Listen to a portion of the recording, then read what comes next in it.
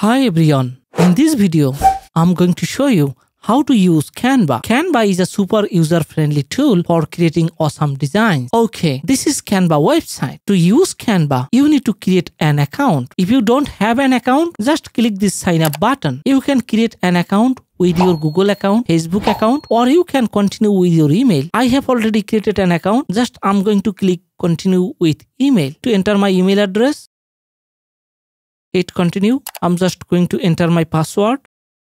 Hit login. This is the Canva homepage interface you will see once you log into Canva. This homepage interface is divided into three parts. Here you can see top navigation bar or top bar.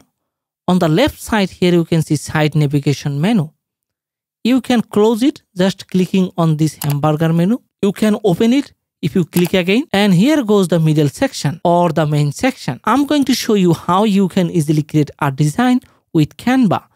Here you can see a big button create a design. If you click on that Canva will show you several presets. I'm just going to create a Facebook post and I'm going to click over here create Facebook post. Click on it and here you can see Canva opens a new tab and with the Canva editor page. This is the studio page of Canva here you will get all the elements to create a design with Canva. Here you can see the new interface, home button and file option, magic switch and try Canva Pro.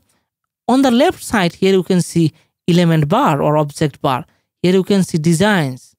If I scroll down, you can see lots of templates. Canva is famous for its templates. Templates are easy to use and you can start creating a design at any time. Okay, here you can see elements. If I click over here, you will see all the elements we can use to create a design. And then goes text. We can add text to our design through here. We can upload anything. We can draw anything. And under projects, we'll see all the projects we have completed. Okay, let's get back to the design where we'll see the templates. Here you can see we are under templates and I'm going to search for a template. But as we have created a Facebook story, Canva automatically suggests us several Facebook story or Facebook post. Say for example, I have chosen this one. I like this. Just click on it. It will be here. Now, you can easily customize all of the designs. Say for example, here you want to sell mobile phone, smartphone, not the laptop. So here you can just easily click here silver laptop. I have changed the name but I can bring it top or here you can see I can't fit here so I need to bring it down. I can bring it down too. Just pretty simple left click and drag and drop.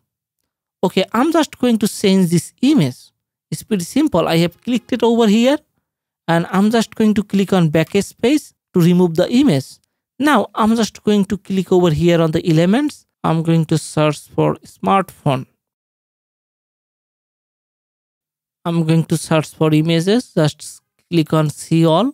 I think this image is perfect for me, but you know, it's available for the pro users. Here you can see crown. This crown means it's for pro users. Okay, I'm just going to click over here and this image is here. Just i'm just going to drag and drop here. Okay you could successfully change the image. You can change the text. You can change color of your respective text also. Just click over the text and click over here. And you can change the text also. Okay now you think that I have got my design ready. Now I want to export it and use it for my project or Facebook campaign. Then you should come over here on the share. Just click on share and here you can see downloads. Just click on download and here goes file type. Just click on here and you can choose JPEG, PNG or any other file type. I'm just going to select JPEG and everything is right i'm just going to hit download and my project is downloading i'm going to click over here and this is the design here it is Well, friends, it was a very short training on how you can use Canva. But if you want to learn more, want to be pro on Canva, you can follow my course on Skillshare. I'll provide the link in the video description. If you join this course, you will get everything in details. But I made this video very short. I hope you could understand how to use Canva.